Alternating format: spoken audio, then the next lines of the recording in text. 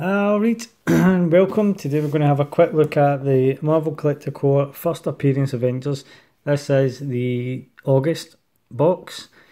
Um, if you've watched my last one, that was the Spider-Man, that was a June's box, and I was not too happy with that and threatened that I was going to cancel.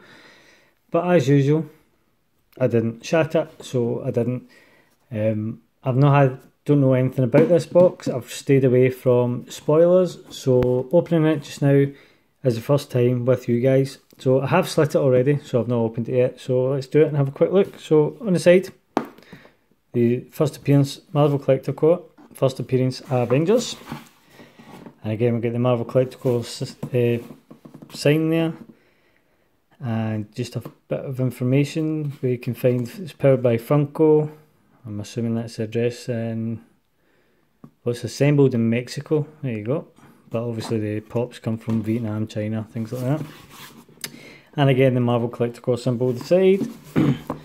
on the top we have a picture of Thor um, as a kind of cartoon first appearance picture. And I'm not going to show you the bottom because that is just, uh, see from there, the stamp from, and my address and everything that I was too lazy to actually score out because I forgot. So, open it. As I said, I already have pre-cut it, but let's have a look and see. So on the front, apart from all the artwork, it's very nice. I mean, the boxes are very detailed. So there. Uh, apart from the artwork, we have the patching pin. So let's see. So the patch as you can see is Captain America. It's actually quite a nice patch considering. Um, some of them were getting a bit ropey, so they were. Um, let's see if we can get them out. This one is actually quite nice. So it is. It feels nice. And I like that as well, how they like kind of overlaps the badge.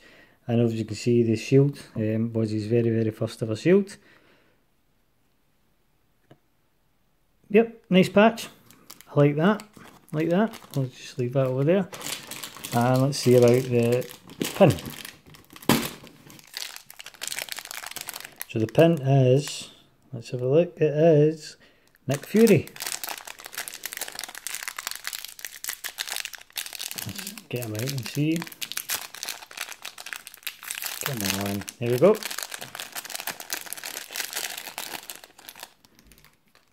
And these pins. The, pin, the pins are really good with these. Um, you do get a bit of weight to them. Yeah, so focusing now. Um, as you can see from Nick Fury, those that didn't know, Nick Fury was actually played by a white man and not just Samuel L. Jackson. Um, back in the day when he first came into it, that's how he looked. So as so again, that's a nice pop, but for me, Nick Fury is Samuel L. Jackson. I mean, absolute badass. And for me, he, Samuel L. Jackson is the perfect person to play him. So as so that's that. Let's have a look in here. What we got next? So patch and a pin. I'm happy with. I don't actually want to see what there is. So we've got that cardboard that I'm going to move out of the way, and then we got a t-shirt.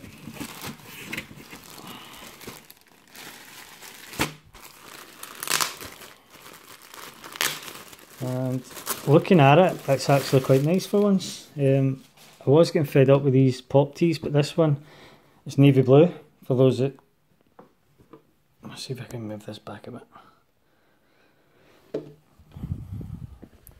And it is Incredible Hulk. In fact, this is probably a better way to lie it down. The Incredible Hulk, and it actually is pop version of the Hulk, Incredible Hulk, um, first appearance in the comics. So I like what they've done with that. Really like that. That is a nice t-shirt. Very, very happy with that one, guys. Looks like this box so far is redeeming my faith. And let's see what else we've got. So what we've got left is, well, feeling wise, just two pops, which has been a while since we've had two. So let's see. Oh, look at that. Right. That is beautiful. That is a nice pop. I um. So as you, sorry, as you can see, sorry, I'm just taking that in there. I was a wee bit all there. Marvel 238 is a Collector exclusive, and it is Iron Man Tales of Suspense number 39. This is Iron Man's first ever suit he built. The sorry, I'm I'm really looking at this. This is actually a nice pop, nice looking pop, and we'll get them out in a minute. And oh, there you go on the back of it. Tells you right there what what they're based on. I have seen a Dorbz version of this, and I kind of wondered to myself when they were bringing out the pop version. Uh, the only problem with these Marvel Collector Corps ones is you can kind of guess what it's going to be. I kind of thought it would have been this one, based on the Dorbz that came out. Um, so, and I mean, I mean, the other ones I would love to see is old school Vision, um, old school. We've got old school Iron Man and Hulk and things. But Thor, an old school Thor, I think that would be awesome to have that. Um, look at that. Sorry, this is a beautiful, beautiful pop. Let's get him out, have a proper look at him.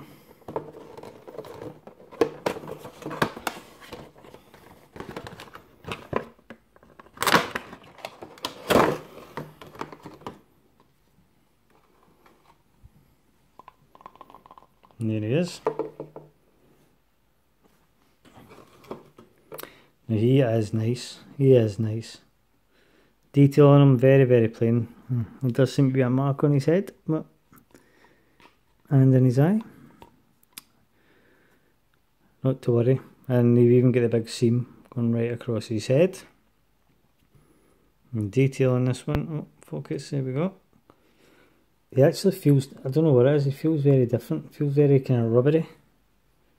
Um, looking at the back of the head, you would think that was Silver Surfer. yeah, man. There you go. So, nice wee poses in. Yeah, liking that one, like that. Right, and let's see what the other one is then. Ah, oh, no way. Called it.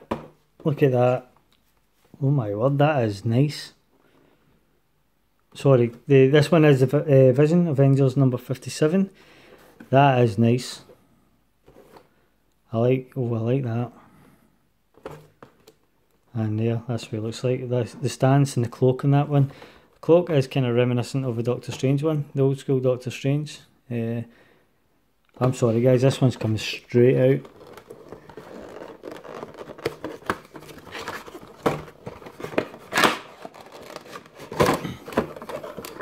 I am one happy camper now. That is a beautiful looking pop. I'm sorry, that is nice. He's even got the illusion that he's holding his cloak there. Yeah, I'm sorry, I'll turn this around a bit, see if we can get it to focus a bit better. There we go. So even the detail of the eyes, the eyes are perfect with the kind of yellow, the black line around it. then they've even put a bit of shading around the eyes. Um, I've also got the Mind Stone on his head. And then the detail. The cloak itself, obviously, there obviously is a big glue bit there, but that's alright. And the cloak is detached from the actual cape. I think I probably would have preferred the cape all in one piece with the head bobbling inside it rather than that. Um, then obviously the detail there where he's looking like he's actually holding. Oh come on, don't start this. The focus on this, um, the detail of it looking like he's holding the cape. It's a nice look. The colours on this one just pop. It is very bright. I don't know if the camera will pick up properly, but the colours are very bright on it. I don't even know if that's red or a kind of pink. There we go. Let's see if we can get this a wee bit better. Yeah. Does that pick up better? He doesn't really, there he is, that's him standing there. So that's him with the Iron Man Lovely, absolute brilliant. And looking in the box. Oh, there's nothing else in the box. So that's it for the this month's um, Marvel Collector Corps, first Avengers, first appearance Avengers. Let's have a look at the, the actual card itself. So in the card, it obviously tells you a bit about them. Um, T-shirt there is what we got, and that's what they've based it on the proper magazine comic. Sorry for the glare in here that I have got the light on my cat, my phone on. Uh, that's what the box looks like, tells you a bit about it. Down in there, what the final product and what they've based it on. Tells you a bit about the patch and the pin if anyone wants to pause and have a read. And then on the side about the vision. So that was the, the artwork, what they're based it off of, then the design of the pop, and then the colours, and then the final pop. So looking at it actually I feel like there's, is something missing. Um, we've got all this on here but I don't feel it's as much as what we previously got in boxes but I'll tell you what I'm happy see if they provide pops with the calibre of these two I'm happy with that. I am one happy guy. So let's have a look and on the back side let's have a look see what's next. I'll move these guys out of the way. So the next box which is October is Thor Ragnarok. Now the one thing I have a feeling we may be getting her um, as I've not seen it. I've also seen which and I don't know if this is going to be a spoiler for the film but um, I can't remember the guy's name but the bad guy that in the trailer um, you see Hulk jumping towards I've seen that he is on Pop Price Guide he is available, well, coming out is one of the newer ones. Don't know if he'll be in this um, as one of them, but what I would love to see is a 6 inch Gladiator Hulk. That would be awesome. So it is. Um, oh, I can't remember the bad guy's name that Hulk's jumping towards. Covered in fire, jumping towards him. He is due for release. If I can find a picture of him, I'll tag it on the end of the video because um, I have a feeling that may be the exclusive to this one. Um, but yeah, I would love 6 inch Hulk and not just a normal Hulk again. Um, Hulk has to be 6 inch because he's bigger than the rest of them.